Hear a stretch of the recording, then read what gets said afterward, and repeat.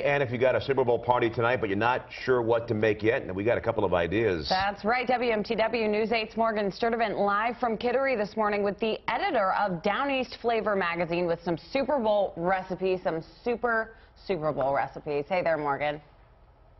Hey, Kitty Norm. Yeah, these recipes are perfect. They're a spin on some really great traditional things and uh, just kind of a little extra touch. And Jean, you've, you have some great ideas. So we're going to make guacamole with a Maine spike. We're spiking it with a little bit of Maine. That's right.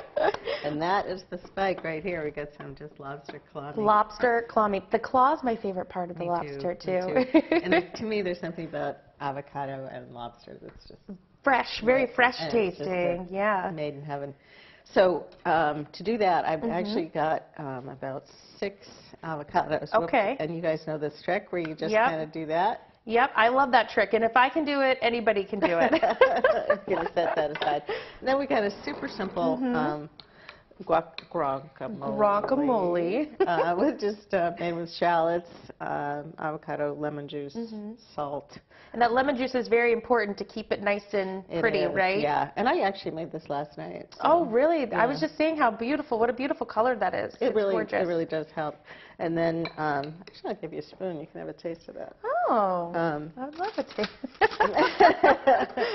and then I'm just gonna um, like reserve some of the uh, avocado shells, skins. what do you oh my gosh, that's delicious. it's very fresh. It's That's very fantastic. very uncomplicated because I don't. Yeah. Want if we got lobster involved, I don't want it to overpower anything. And I love that you're putting it back in. Isn't that fun? Oh my gosh, that's great. That's- that is great. So everybody can have their own personal, and it just That's it looks right. really nice too. Yeah, you save a few dishes. Then. Yeah, gotta Right. love saving a few dishes. That's right.